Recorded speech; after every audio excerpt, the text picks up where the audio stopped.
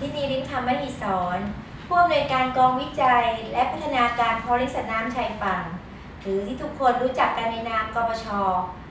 วันนี้ดิฉันมีความภาคภูมิใจที่จะแนะนำทุกท่านมารู้จักกปชให้มากยิ่งขึ้นค่ะ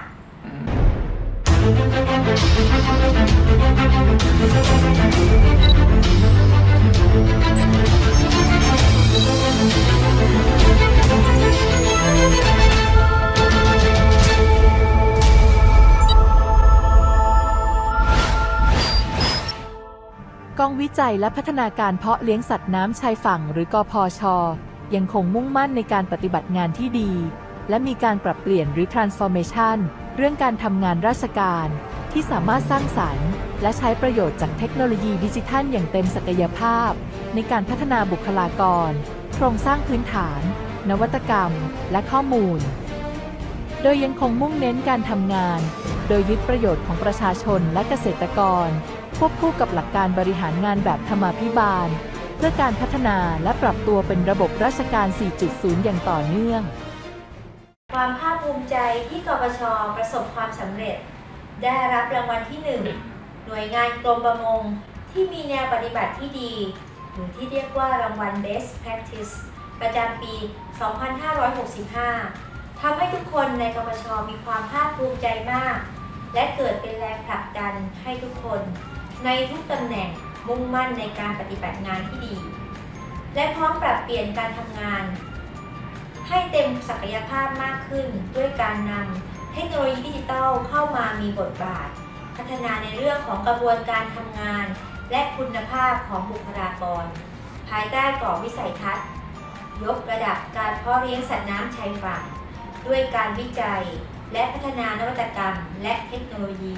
เพื่อเกษตรกรไทยมั่นคง สิ่งแวดล้อมยั่งยืนคปชยึดหลักประโยชน์ของประชาชน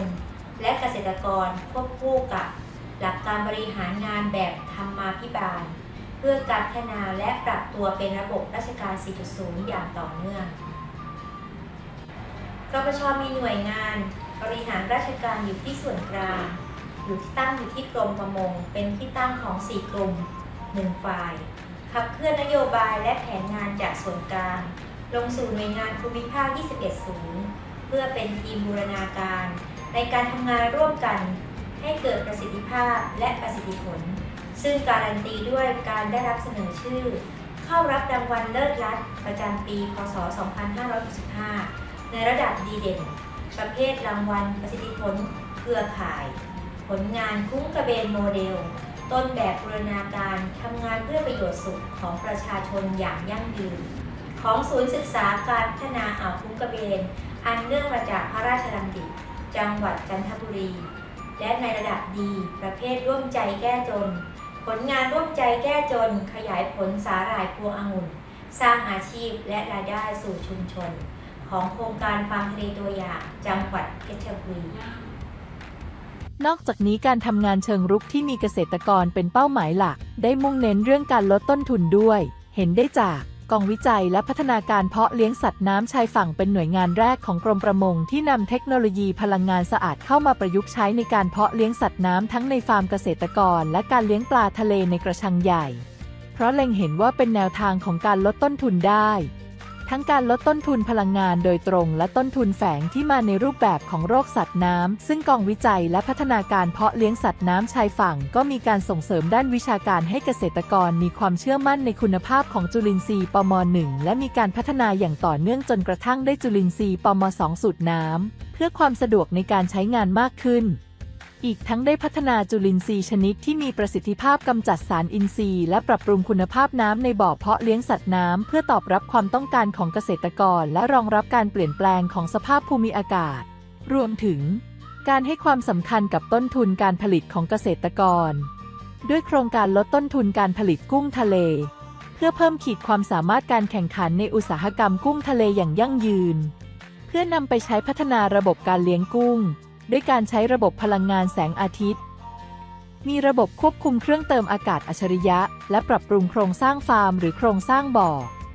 รวมถึงการลงทุนด้านเทคนิคการเลี้ยงปัจจัยการผลิตด้านลูกพันธุ์กุ้งทะเล อาหารกุ้งทะเล ด้วยโครงการเสริมสภาพคล่องเกษตรกรผู้เลี้ยงกุ้งทะเลปีพุทธศักราช 2565 ให้แก่เกษตรกร ได้กู้ยืมแบบปลอดดอกเบี้ยให้กับเกษตรกรรายย่อย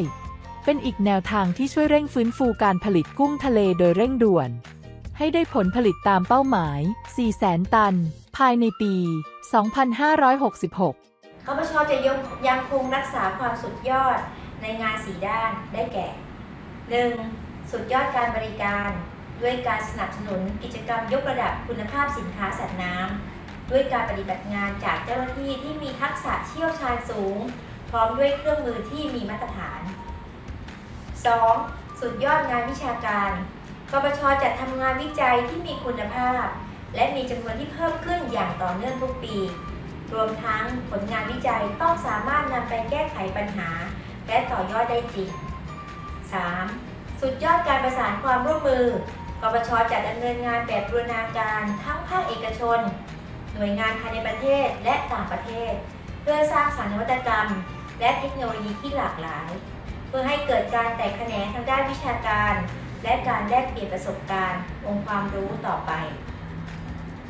4. สุดยอดการทำงานเป็นทีม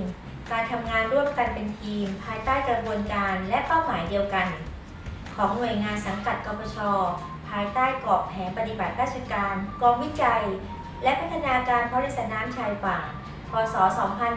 2566 ถึง พศ 2570 เพื่อให้เจ้าหน้าที่กปชเกษตรกรและผู้ประกอบการได้รับประโยชน์สูงสุด ทั้งนี้กปชยังคงแนวคิดการเป็นกปชที่เปิดกว้างพร้อมปรับเปลี่ยน พร้อมบูรณาการ พร้อมใช้ประโยชน์ที่ได้จากเทคโนโลยีที่ทันสมัย เพื่อสร้างนวัตกรรม สร้างคุณค่า และเพิ่มประสิทธิภาพการทำงานให้สูงขึ้นอย่างต่อเนื่องต่อไป